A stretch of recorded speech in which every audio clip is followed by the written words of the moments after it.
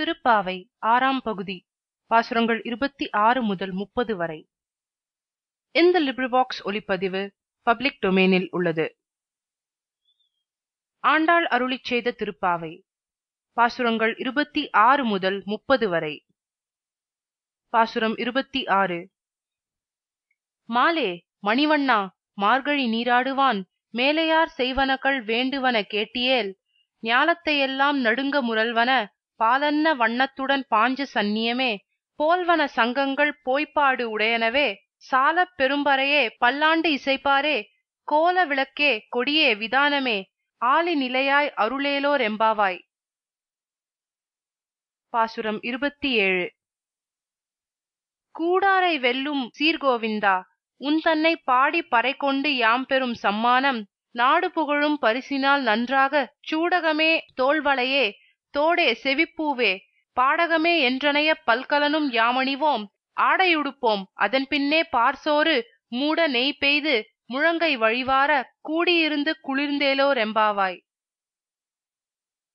பாசுரம் இருபத்தி எட்டு கறவைகள் பின் சென்று காணம் சேர்ந்துண்போம் அறிவொன்றுமில்லாத ஆய்க்குலத்து உன்றன்னை பிறவி பெருந்தனை புண்ணியம் யாமுடையோம் குறைவொன்றுமில்லாத கோவிந்தா உன்தன்னோடு உறவேல் நமக்கிங்கொழிக்க ஒழியாது.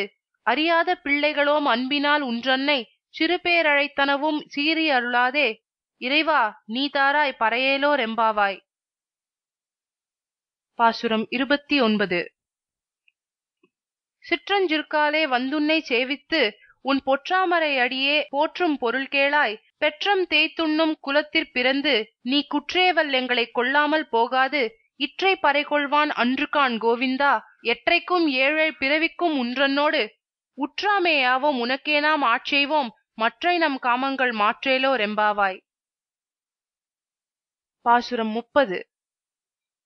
வங்கக் கடல் கடைந்த மாதவனை கேசவனை திங்கள் திருமுகத்துச் சேயிழையார் சென்றிறைஞ்சி அங்கப் பறை கொண்ட ஆற்றை அணிப்புதுவை பைங்கமலத் தன் தெரியல் பட்டர்பிரான் கோதை சொன்ன சங்கத் தமிழ்மாலை முப்பதும் தப்பாமே.